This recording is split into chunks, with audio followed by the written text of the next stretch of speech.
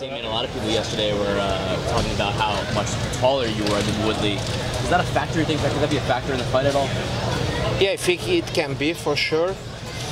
But Woodley, he's used it also to fight, you know, taller guys like he fought Wonderboy. So, of course, he knows how to deal with that. But I, if I can use this well, of course, can be, you know, something to play on my side. Talk to us a little bit, a bit about this journey because it's almost like you've been on this pathway where you win a fight and everyone goes, all right, Demian's going to have the title shot now. Then you don't get the title shot. Then they throw another killer at you. He's going to get the title shot now. Then you don't get it again. Were you ever frustrated during that time? Did you ever think, I may never get the second title shot? Yeah, no, I always believed that I would would get the second, but of course I was very frustrated. But what I learned with the experience and the years in the UFC is that you know, I cannot let this frustration take take my my soul uh, and you know and control me. So it's easy to say, hard to do, but you know, lately in the last years, I was able to do that, you know, to control this frustration and just keep going. Did it ever get close to the point where it did sort of, as you say, take your soul or really got into your head? Did you ever have a low where you where you thought this may never happen and this is really really frustrating now? No, I never. I always believed that I was going to get the title shot.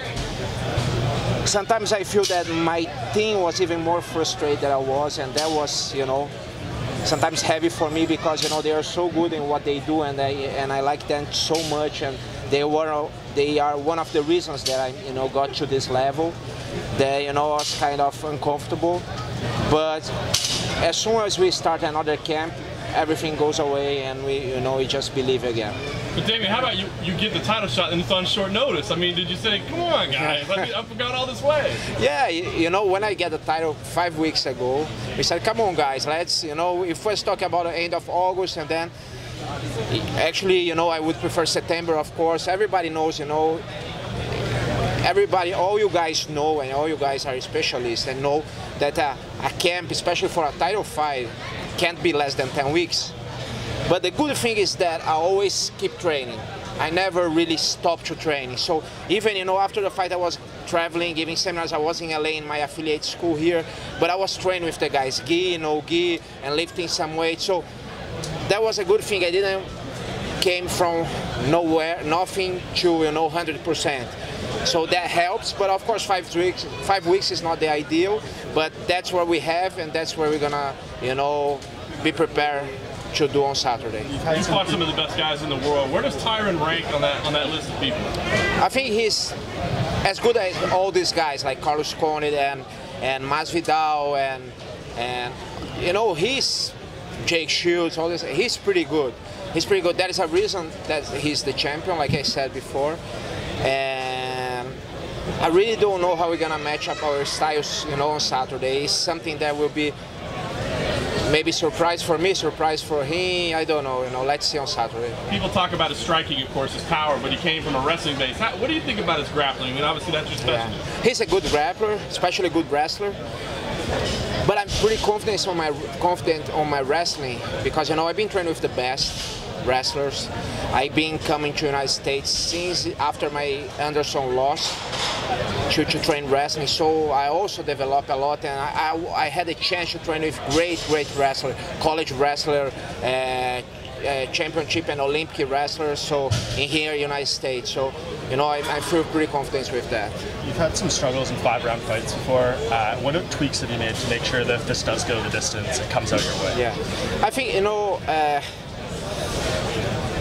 it's the last five rounds fight that I did, Condit of course, but it didn't go five rounds, but LaFlare, I think I did well, especially because I was coming back from my shoulder problem, you know, and I did five rounds controlling the rounds with a guy who is very skilled and very with a very good stamina. So I trained a year ago to a five rounds fight against Condit, so I'm pretty confident that you know I will be able to handle those five rounds well. Yeah, not only can you win the belt here, but you can tie the record for most wins in UFC history with Michael Bisping. Yeah. Uh, what does just this whole thing mean to you? I think if you get a submission, you'll tie the record for most submissions.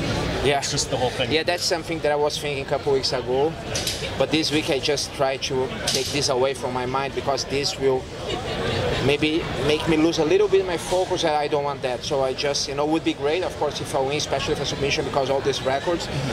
But records, you know, will be broken one day, and, and the thing that you know if I get will be more mine forever will be the belt. So the most important is to do well, to fight well, to do my best to get this belt on Saturday. You have fought for a title before. Did you go back and revisit that fight and re- kind of see what lessons you could learn? Uh, Sorry? You fought Ah, for a title before. uh-huh. Did you go back and revisit that fight and, and sort of see what Yes, you could I didn't watch again, but of course, you know, I was thinking, not not for this camp, but all these years, all the mistakes that I had in that fight. There was so many mistakes that I made, not for just for the fight, but especially before the fight in the camp, technically and mentally, and you know, a lot of things that you know, one day I will say what is that because it's too long history but and of course I learned from that. And I'm not gonna make the same mistakes again. It doesn't mean I go in there and I'm gonna win or lose but I'm not gonna make the same mistakes. If you if you said that it was it was too short notice for this fight, only five weeks, was the UFC just going to move on without you and give someone else a title shot? yeah I think so. I think yeah because they need somebody to fight Georges you know St. Pierre in, in November.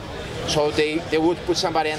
If I let this pass who knows if I would get you know the title again you know. So I, I couldn't I couldn't just say no I'm gonna wait right now. So I said okay five weeks let's do the best we can do in five weeks. How do you feel about Tyron? Because uh, it seems like he was looking for a fight with a lot of other people for UFC 214. Were you bothered by the fact that it took so long for you to finally get this title shot, like Mark said, five weeks out? And what are your feelings about him as champion for not really wanting to fight you for such a long time, you being the last option for him to fight you at UFC 214? in you know everybody here nobody is is stupid here all you guys know that who decides is the UFC is not the champion right and if UFC decides that or if Tyron say he decides that actually we know that UFC decides that. It's not the champion. So you know I don't care. I just I just ready to do what I need to do